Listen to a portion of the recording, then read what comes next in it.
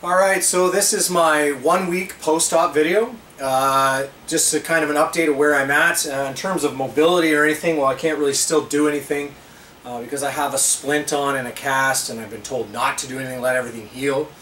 Um, what I did have initially though is I think in my last video I explained how I had so much pain. That lasted probably three, three and a half days uh, after surgery where it honestly felt like somebody was drilling into my bones, which actually happened. Uh, it felt like that for about a half an hour, like probably seven or eight times a day and at night. Uh, that lasted like three or four days, and that was that was terrible. Um, so that that is finally over with. So I'm sleeping a lot better, learning how to sleep on my back, which is key. Uh, the other couple of things is uh, that I didn't want to take any pain meds or I really wanted to limit the amount of pain meds that I took. And when I mean that, I mean like the Percocets, the Oxycontins, uh, those kind of uh, uh, medications I didn't want to take. Uh, so I ended up taking two on my first night uh, after surgery. So I had surgery like 3 o'clock in the middle of the day. So when I came home from surgery, I think at like 7 I had one, in the middle of the night I had one. And then the next night I had one. What I didn't do though, uh, because I was so against taking those pills, was I didn't take my stool softeners. And uh, so night three, uh, I had a lot of pain in my arm and a lot of pain in my stomach. So even if you don't think you're going to take those meds, it only took me three pills and, uh, and I was having stomach issues as we would say. Uh, the other key thing that's happened this week is uh, I've been able to have a shower. I've gotten lucky that my sister's a nurse and actually worked uh, as an orthopedic nurse uh, for quite some time, but she just recently switched, like, uh, unfortunately for me, about a few months ago. But the key to having a shower is I take a garbage bag and I put it over my arm and then uh, you twist it and then you wrap it under your arm, like uh, under your armpit, and then use medical tape, wrap it around a bunch of times and it, it's airtight. And I didn't even come close. I had a nice long shower, which was phenomenal. Uh, and uh, didn't even, nothing got wet, not, none of my dressings, not even close.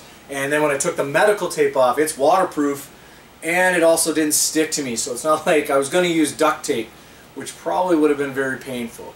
So having the ability to shower and sleeping uh, has been very, very important in this next week, or in this first week. Uh, in a few days, I believe in about uh, three or four days, I'm supposed to get my range of motion cast or uh, brace on. Uh, so I believe the splint's coming off and uh, I'm going to undo the dressings. I thought that wasn't going to happen for a couple weeks because uh, I do see my surgeon on week 3. Uh, but I guess uh, in a few days here on day 10 or day 11 uh, post-op I will be getting that range of motion brace. So I'm not sure how that's going to look, how it's going to be set. but obviously that's hopefully moving on. the swelling, oh another thing is since post-op my swelling in my hand is probably gone down by 90%. Uh, I even feel like the swelling in my arm has gone down. Uh, I thought I had a hard cast on here, but I don't. I think it was just my arm was so swollen uh, that it was puffing out, but uh, that's gone down.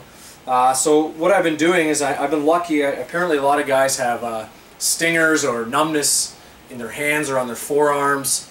I haven't had any of that. I've been lucky. so I've been constantly squeeze toying. I've been putting my arm up watching TV, just different motions because I don't want to uh, lose the range of motion in my shoulder. So I've been squeezing a toy to get keep my grip strength up. Uh, I've been moving my wrist uh, up and down constantly uh, to keep that range of motion. I've also been tapping my fingers constantly to keep that dexterity.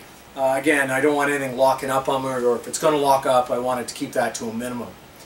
But so far, uh, I know it's going to be a long process, but I'm looking forward to again getting my range of motion cast on.